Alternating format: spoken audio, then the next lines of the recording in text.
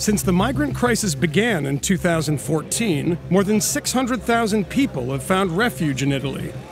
But this record influx of refugees has created deep fissures in Italian society, catapulting a once marginal far right party, the League, into the government's ruling coalition.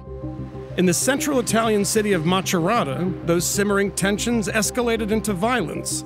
In January, three Nigerian migrants were arrested for the brutal murder and dismemberment of an 18 year old Italian girl named Pamela Mastropietro. In response, a one time local candidate for the League named Luca Traini went on a two hour shooting rampage in Macerata, targeting anyone who didn't look Italian. By the end of his spree, he had shot six African migrants. We caught up with three of his victims. All of you are fleeing a place of chaos and violence. Yeah.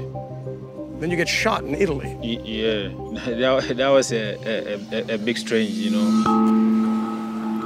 Where were you when you got shot? I'm just going like this. Just walking. Yeah, just walking with my friend.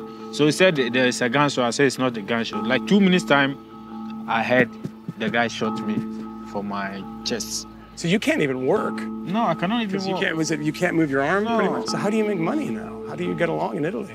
It's not easy, you know. For for a man, this is my right hand side. I cannot do any strong thing with it. I have my mother and my, my, my father alive. I have to support them. Voilà, gagné waati bɛ ya opéré kun So there's that too. How many times were you shot? kɛsɛ fila do voilà argɛri ŋa ken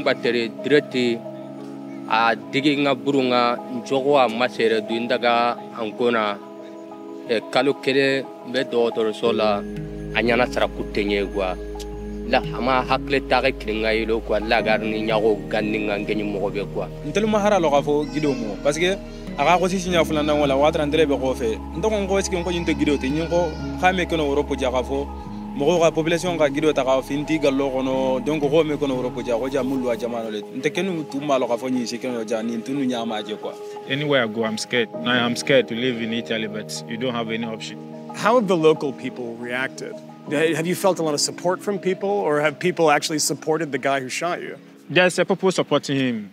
Definitely, there's a people supporting him. So far as uh, we, we are foreigners, it doesn't mean that we are animals. You understand?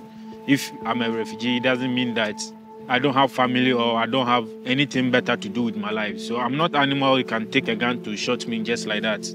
So far as I'm black, you are white. To kill me because of my color, it's, it's very very sad.